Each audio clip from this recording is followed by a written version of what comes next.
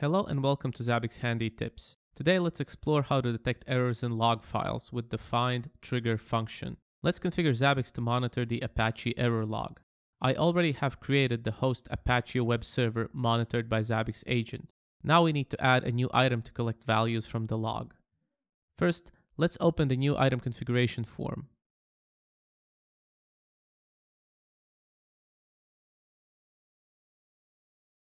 In the item configuration form, enter the name and select the item type.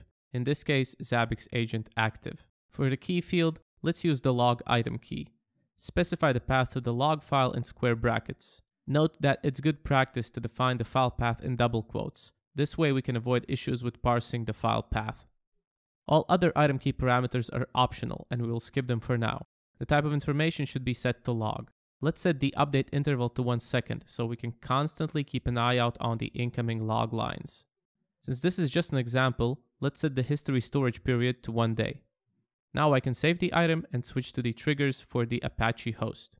We need to add a new trigger that will constantly check the values returned by the log item and generate a problem alert if it detects an error string. I will call this trigger error in Apache log and set trigger severity to warning. For the trigger expression, let's use the trigger expression builder.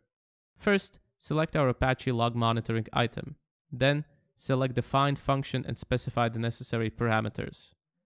We will check for error entries for the last 10 minutes. Note that for this function, the trigger status gets recalculated only when a new log entry is collected by the item. For the operator, we will use like because it tells the function to search for a specified string. The next parameter is the pattern that we'll react on, for this example, we can use error. We will generate a problem if we find the error pattern, so the result should be equal to 1.